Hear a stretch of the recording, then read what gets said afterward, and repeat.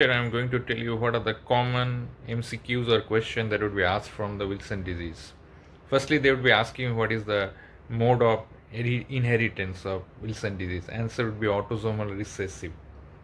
It's a genetic disorder and it's autosomal recessive.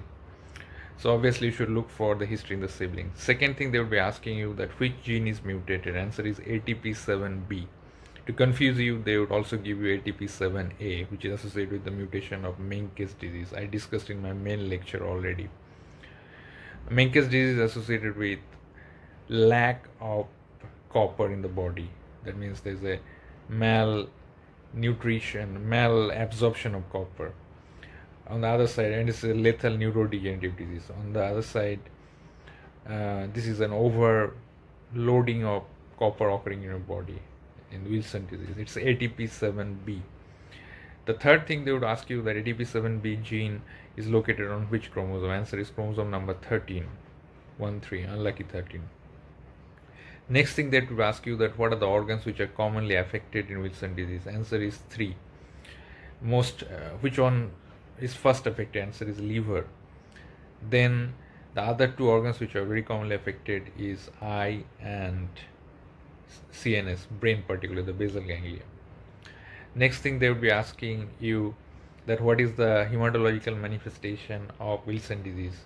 Answer is hemolytic anemia, Coombs negative hemolytic anemia, because RBC membrane gets damaged by copper deposition.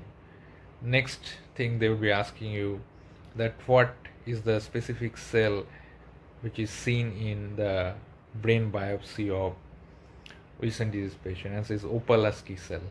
Opalski cell is thought to be a kind of degenerated glial cell and they usually seen in globus pallidus in the region in the brain of the Wilson disease patient. Then they ask you that what are the liver biopsy findings in the Wilson disease patient. Answer it's highly non-specific. It could be acute hepatitis, chronic hepatitis cirrhosis they could ask you that what are the histological stains which are used in Wilson disease. Answer is orcein rhodamine. This kind of stains are used actually. Then they can ask you that Wilson disease, what are the endocrinological manifestation occur? One classic is hypoparathyroidism. Uh, it's, it's a very characteristic finding associated and seen with uh, Wilson is thou uncommon. Uh, then they can ask you what is the renal manifestation. Answer is Fanconi syndrome, which is a proximal renal tubular dysfunction associated with this thing. Don't confuse this with Fanconi's anemia, which is an inherited form of aplastic anemia. Uh, then they can ask you the the diagnostic finding. They might confuse you. The serum ceruloplasmin level would be low why it would be low because ATP7B gene gets mutated and ATP7B incorporates copper into apoceruloplasmin and that gets released into the blood.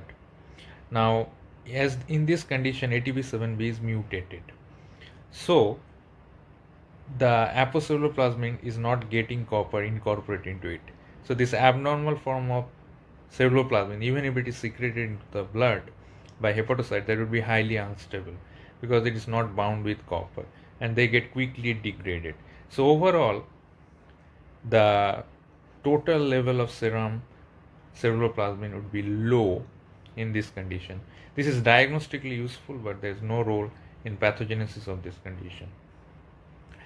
Copper excretion in the urine is very high in this condition. This is you remember and per gram dry weight the quantitative copper estimation is also very high more than 250 microgram per gram dry weight of liver biopsy. This is seen. This is another important uh, point they might ask you in the exams and other places. It's an important concept that serum copper level has no value diagnostic value because it could be high low or normal depending on the stage of the liver disease uh, in the eye, they can ask you the manifestation, two manifestation. One is Kayser-Fleischer ring, uh, which layer of the cornea is deposition, deposition occurs uh, due to the copper deposition is Descemet's membrane is important. And usually when there is a chelating agents are provided these things might disappear due to the successful treatment.